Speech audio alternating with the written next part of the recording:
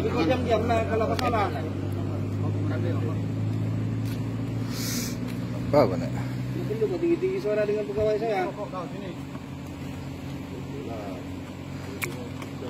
Kalau mencari masalah mau keluar malam-malam, sudah kena bagian kereta kawalan pergerakan pukul 6 kau kena balik lah. Kau ikut kami pergi balai. Boleh. Kalau kau betul. Saya ikut. Ah, kau naik kereta itu. Bayar saja. Oke, kau naik kereta itu. Bayar. Hah? Kau naik itu. Ini bukan dibayar bos, tetap kau masuk dalam reman juga nih. Nanti kau cerita dengan pegawai kami di sana. Hah? Oke? 186 tetap sudah mulai nih. Nah, kau ikut dulu. Jangan buat begini. Kau ikut sana dulu, Pak, di kereta. Hah? Kau jangan buat begini. Saya nak peduli kau pegawai ke apa. Tapi kau salah buat begini. Kau tahu tak pernah tinggikan suara kau. Ah, tapi kau sampai ketikaikan kami punya pegawai, punya kuasa. Ah?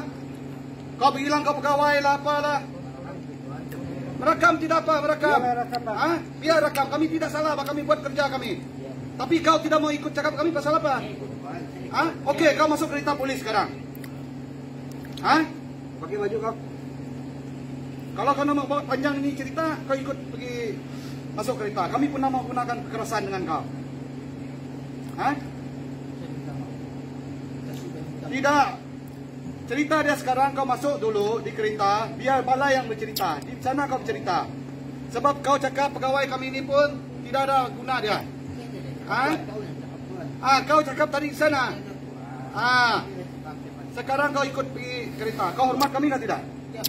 Kau boleh dengar cakap kami tidak? Itu sebab saya duduk sini. Okey, kau mau ikut masuk kereta ke tidak? Boleh. Okey, sekarang. Saya bawa etas. Tidak boleh. Tidak boleh. Hah?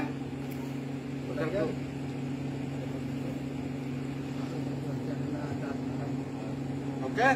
Kalau begitu kami akan panggil anggota lain gunakan kekerasan tangkap kau. Hah? Saya tak buat apa-apa. Okey? Kau ingat cakap saya.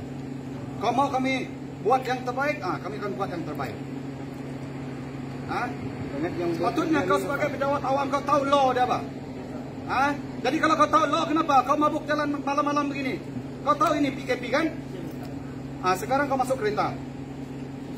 Kalau mau cerita-cerita di balai. Ah, sekarang kau pergi masuk kereta. Okey, ini kali kelima sudah saya cakap dengan kau. ah. Okey? Hah? Ya, kami boleh maafkan kau, tapi kau masuk kereta dulu. Sebab kami sudah lapor dalam radio. Kami bawa kau pergi balai. Kami punya sistem kerja lain, tidak sama dengan kamu custom. Hah? Kalau kau sendiri yang cakap kau custom tadi, superintendent, apa semua. Ah, Cuma checking saja. ah, Saya tidak. Tadi kau cakap custom kau pakai ah. superintendent. Kau pangkat superintendent. Ah, kau keluarkan alat urine test tu, kau letak sini. Jadi kau, Hah? jadi kau, Jadi kau siapa? Jadi kau siapa sekarang ni? Hah? Ini boleh bernyaman. Hah? Satu satu tujuh kosong ni. Saya custom bagian kamu. Ya, superintendent. Kau juga cakap. Kau cakap kau cakap Ah. kau kau cakap kau bukan Jadi? custom. Mana satu yang betul? Mana yang betul? Kau sudah mengaku ke custom sekarang. Jadi superintendent custom. Ha. Jadi seolah-olah kau ni superintendent custom suka hati kau buat. Saya Begitu. bukan menipu Tuhan. Tidak, kami tidak cakap kau tipu. Tapi jangan kau gunakan pangkat kau ah, untuk melanggar undang-undang. Ah. Saya tidak gunakan pakai saya untuk melanggar. Okey, sekarang ni kalau betul kau beri kerjasama, kau ikut kami masuk kereta. Okey? Kalau nak ini cerita nanti hal ni makin rumit ni. Kau sudah menghalang kami melakukan kerja kami.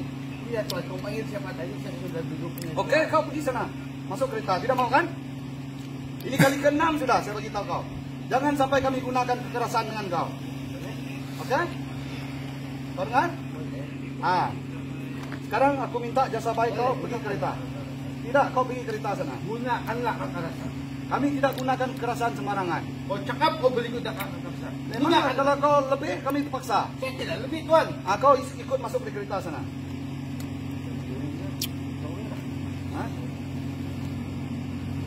Okey, sekarang ah, kami saksi ramai. Kau tidak mau dengar cakap, tidak mau masuk kereta polis, tidak mau beri kerjasama.